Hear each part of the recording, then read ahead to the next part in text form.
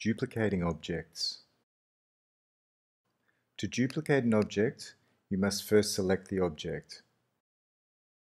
Then, select the Slice panel and press the Create button in the Layout section. If you want to create more than one duplicate, key in the number of duplicates before you press the Create button. Nesting. Alpha 3D can automatically adjust the orientation and layout of multiple objects in the workspace. Simply click the nesting button in the Layout section on the Slice panel. Adding text.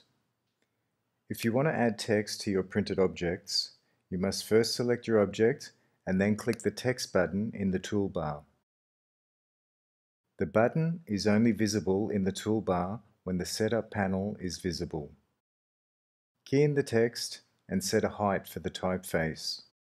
Select whether you want the text to be set outward, that is embossed, or inward on the object. The text is projected into the center of the workspace. You must adjust the view so that the text is in the correct position. Right-click and drag to pan the camera, or middle-click and drag to rotate the camera. Click anywhere in the workspace to apply the text to the model.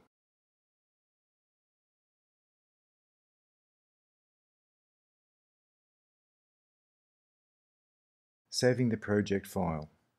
To save the project file as you are working, click the Save button in the toolbar.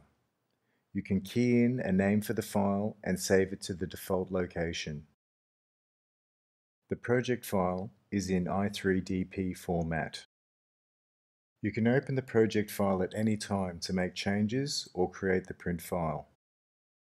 This is good for saving your progress as you go along, but Alpha 3D will always save the project file when you create the print file.